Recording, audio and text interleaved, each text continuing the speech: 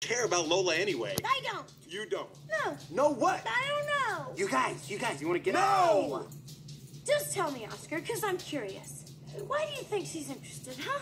Do you think for one minute that she would even be with you if you weren't the rich and famous shark slayer? you guys, please don't fight. Are you that blind? At least she treats me like I'm somebody. Yeah, but would she love you if you were nobody? Nobody loved me when I was nobody. I did.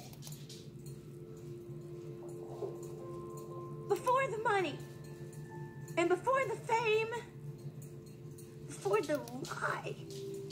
To me, you were a somebody, Oscar, and now you're nothing. But a fake, a sham, a con.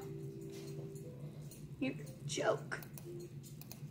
No, I understand plenty. Yeah, well, guess what? This discussion isn't over. You were wrong. And I was wrong about you. Here I come.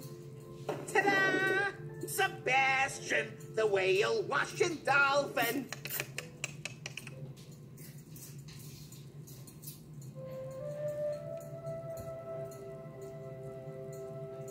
Angie. No, forget it.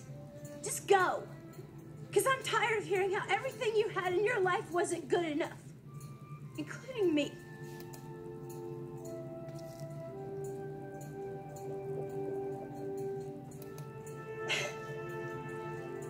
Angie, Oh, honey, I'm, sorry. Go, go back and do it again.